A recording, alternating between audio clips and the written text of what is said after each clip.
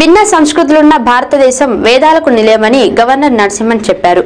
వేదభూమి భారతదేశంలో భిన్న సంస్కృతులు ఉన్నాయని అన్నారు. అనంతపురం జిల్లా పుట్టపర్తిలో భగవాన్ సత్యసాయి తొంభై రెండవ జయంతి ఉత్సవాలకు తెలుగు రాష్ట్రాల గవర్నర్ నరసింహన్ హాజరయ్యారు. సాయి కుల్వంత్ హాల్లో సత్యసాయి మొదటి అంతర్జాతీయ వేద సదస్సులో ఆయన పాల్గొన్నారు.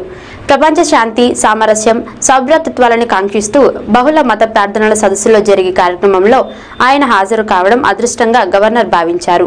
సంస్కృతి సంప్రదాయాలకు పుట్టబట్టి నిలయమని గవర్నర్ తెలిపారు. భిన్న సంస్కృతులున్న భారతదేశం వేదాలకు నిలయమని గవర్నర్ నరసింహన్ చెప్పారు.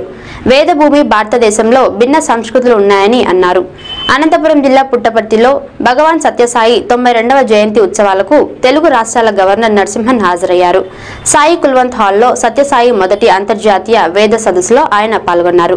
ప్రపంచ శాంతి సామరస్యం సౌభ్రతత్వాన్ని కాంక్షిస్తూ బహుళ మత ప్రార్థనల సదస్సు జరిగే కార్యక్రమంలో హాజరు కావడం అదృష్టంగా గవర్నర్ భావించారు.